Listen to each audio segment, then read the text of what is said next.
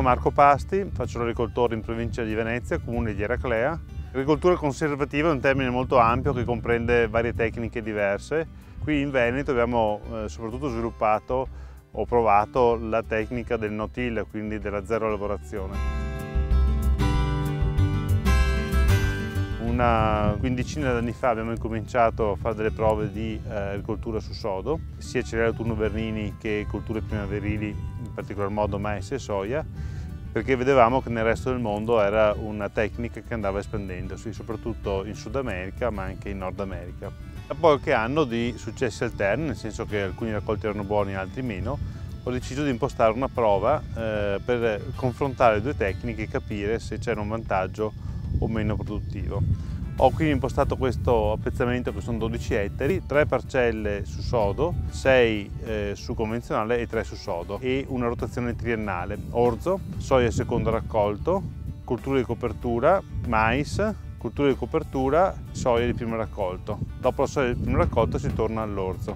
Il primo anno la produzione è stata abbastanza buona, poi eh, sono andati via via calando, dipende molto anche dalle stagioni, e siamo ancora comunque con un certo gap rispetto all'agricoltura convenzionale. Quindi abbiamo ancora una produzione che per mais e soia è di circa un 15-20% inferiore e una produzione che per cereali turno vernini eh, è di circa un 5-10% inferiore. Siccome diciamo, era noto che avevo questa sperimentazione mi hanno chiesto di entrare nel progetto del Psoid perché c'era una storicità più lunga di altre aziende e la prova impostata è anche un confronto interessante per capire l'andamento delle coltivazioni.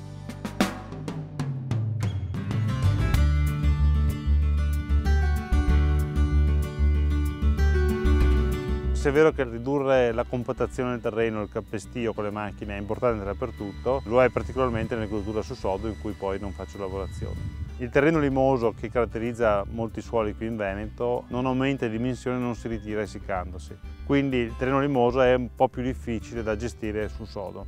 Può essere utile a volte usare dei, dei compattatori eh, che non muovono il terreno ma solo rompono la, la compattazione. Questo chiaramente è un aspetto molto importante da considerare quando si, ci si approccia a questo tipo di agricoltura.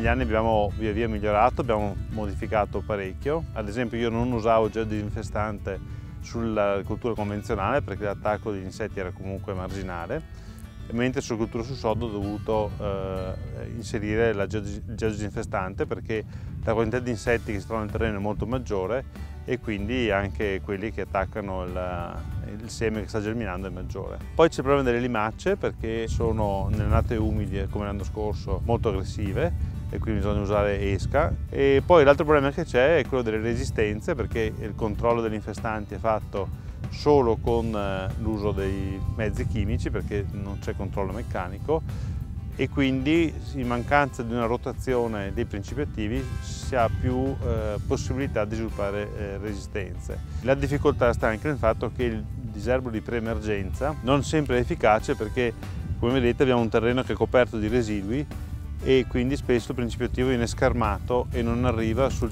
sul suolo, sul terreno dove c'è il seme che germina. Quindi il pre-emergenza è in qualche modo eh, meno efficace che non nel terreno eh, convenzionale e in post-emergenza abbiamo pochi principi attivi. L'uso della chimica eh, oggi viene spesso demonizzato come il massimo dei mali, ma secondo me un uso della chimica che sia eh, ben gestito eh, ha più vantaggi che, che svantaggi.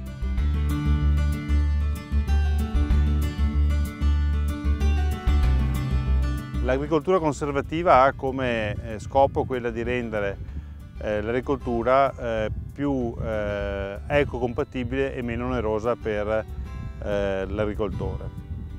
Quindi meno onerosa e anche più competitiva perché se ho meno costi di produzione ho anche più competitività nel mercato globale. Ovviamente quello che interessa al mercato è la qualità del prodotto, quindi la qualità soprattutto sanitaria del mais perché oggi l'emergenza principale è eh, problema delle micotossine. Secondo me è importante avere una sperimentazione ampia e diffusa perché non è una tecnica facile, perché io ho pochi strumenti e devo usarli bene. Per cui eh, diciamo che è importante mettere bene appunto la tecnica in, per ogni tipo di terreno, per ogni tipo di ambiente e saperla poi eh, divulgare. Quindi secondo me ci sono ancora mh, mm, spazi per, per migliorare. L'Help Soil va un po' in questa direzione.